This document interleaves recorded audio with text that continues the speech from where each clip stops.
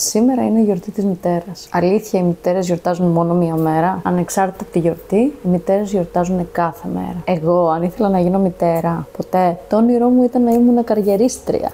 Στην αρχιτεκτονική, να ταξιδεύω. Αλλά έρχεται κάποια στιγμή στη ζωή που θα γνωρίσεις έναν άνθρωπο και αυτός θα σε εμπνεύσει να κάνεις οικογένεια. Μητέρα δεν γεννιέσαι, γίνεσαι. Και πιστεύω ότι ήταν ένα από τα καλύτερα δώρα που έγινε στη ζωή μου. Ίσως μητέρα μπορεί να μην γίνεις κάνοντας ένα παιδί. Μπορείς όμως να γίνεις μητέρα με χίλιους άλλους τρόπους. Να προσφέρεις την αγάπη σου σε ένα παιδί που το έχει ανάγκη και ας μην είναι βιολογικά δικό σου. Σε ένα άλλο όν. Κάπου που θα νιώσεις την ανάγκη να μοιραστείς τη θαλπορή σου. Υπάρχουν και οι μητέρες που δεν στάθηκαν σαν μητέρες. Γι' αυτό υπόσχομαι στον εαυτό μου ότι θα γίνω δύο φορές μητέρα για τα παιδιά μου. Και εσύ να υποσχεθείς ότι αν έχεις περάσει κάτι τέτοιο, και εσύ μπορεί να γίνεις χίλιες φορές μητέρα για κάποιον άλλον. Λοιπόν, το να είσαι μητέρα είναι χαρά, είναι αξία, γιατί η μητρική αγάπη δεν υπάρχει πουθενά άλλου. Χρόνια πολλά μητέρα, όποια κι αν είσαι.